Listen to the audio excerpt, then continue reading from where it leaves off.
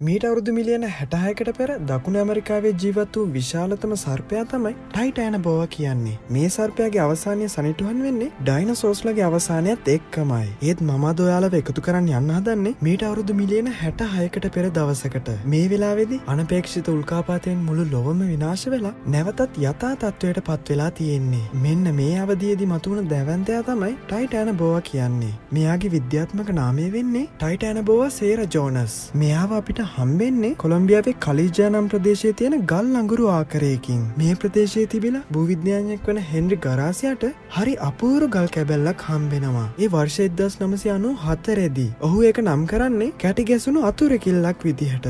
මේ සිද්ධියෙන් අවුරුදු අටකට පස්සේ ෆැබියානි හෙරේරා කියන පර්යේෂකයා මේ ප්‍රදේශය කැනීම් කරනවා. එහිදෝට පොසිලයක් බවට පරිවර්තනය වුණ ගහක කොලයක් හම්බ වෙනවා. ඉතින් මේ විදිහට පොසිල ගණනාවක්ම ඔහුට හම්බ වෙනවා. ඊට පස්සේ ෂණිකවයා පුරාවිද්‍යාඥයෙක් වෙන කාලොස් ජෙරමිව මේ වැඩේට සම්බන්ධ කරගන්නවා. මෙහිදි හොයාගත්ත ඒ කැටකැබැල්ලක් වැඩිදුර පරීක්ෂා කිරීමේදී තහවුරු වෙන්න එක කිඹුලෙක් එකක් කියලා. ඒත් ඒ පාශානයම තිබ්බ තවත් කොටසක් හින්ද මේ පරීක්ෂණය මෙතනින් නතර වෙන්නේ නැහැ. මේ විදිහට දිගින් දිගටම පරීක්ෂණ කරද්දි මේ අයට ඉබ්බෙක්ගේ ඇටසකිල්ලක් හම්බ වෙනවා. මේ සිද්ධියෙන් අවුරුදු තුනකට පස්සේ නැවතත් පරීක්ෂණ කරද්දි අලුත් අස්ති කොටසක් ඔවුන්ට හම්බ වෙනවා. ඉතින් මේ අය සාමාන්‍ය විදිහට හිතන්නේ මේකත් කිඹුලෙක්ගේ කම්ම කියලා.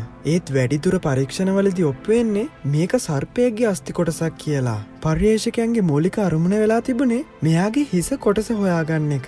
මොකද ඒකෙන් විතරයි මේ සත්වයාගේ විශාලත්වය තීරණය කරන්න පුළුවන්. ඒ වගේම ඒකෙන් ඒ සත්වයාගේ ආහාර රටාවත් අඳුරගන්න පුළුවන්. පර්යේෂණ වට ගණනාවකට පස්සේ තවත් සියුම් අස්ති කැබලි ඔවුන් හොයාගන්නවා. ඒ හොයාගත්ත අස්ති කැබලි සහ වර්තමානයේ ජීවත්වන සර්පයෙක් සමඟ සසඳලා ඔවුන් නිගමනයකට එළඹෙනවා. එහිදි අනාවරණය වෙන්නේ මේ සත්වය අඩි එකයි දශම නමයයි හයක් පලල දිගාඩි හතලිස් දෙකත් හතලිස් අටත් අතර වෙන සතෙක් කියලා. ඒ වගේම මෙයාගේ බර අනුමාන වෙන්නේ කිලෝග්‍රෑම් එක්දස් එකසිය තිස් තුනක් විදිහට.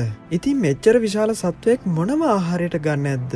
මාළුවන් ගෙම්බන් සමාර වෙලාවට කුඩා කිම්බුලන් මෙයාගේ ආහාර වෙන්න ඇති. මේක බලන ඔයාලට හිතෙන්න පුළුවන් ඇයි මේ සත්වය මෙච්චර ලොකුණේ කියලා. සාමාන්‍යයෙන් පිඹුරන් වගේ උරගයන්ගේ ශරීරය පරිසරුෂ්ණත්වයත් එක්ක වෙනස් වෙනවා. මම මේ කතා කරන අවස්ථාවේදි පරිසරුෂ්ණත්වය අදට වඩා තුන් ගුණයකින් වැඩි.